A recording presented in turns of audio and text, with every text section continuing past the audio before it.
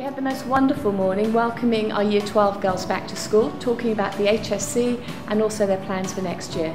We've had some superb results in the HSC and you may have seen some of that in the Herald. So my congratulations to the girls for all their hard work and of course to the teachers who work alongside them.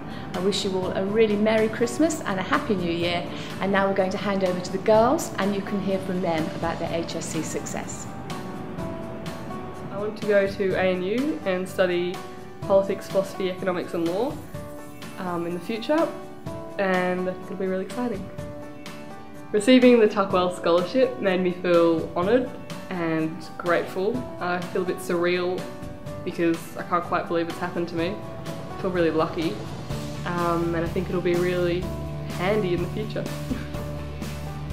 yeah, I think remembering that that wasn't the only thing in life was important and also using um, all the resources we got from our teachers, like just using them all and making sure we got the most out of that. Yeah, and not focusing on the end, like the final mark, but focusing on every little bit along the way and just trying to do your best in each little step. Not procrastinating for the next half hour. Yeah.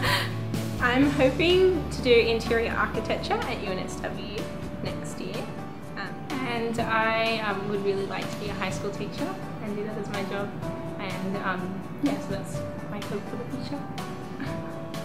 I really enjoyed all my subjects, but my favourite subject was probably maths. Um, I did maths extension 1 and maths extension 2 and I really enjoyed maths extension 2 although it was really really difficult.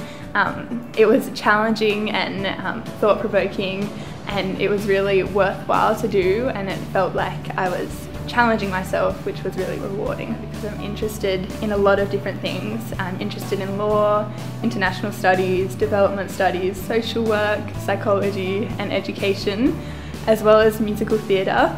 So I don't know which one I want to study yet, but I'm really interested in being involved with people and helping people.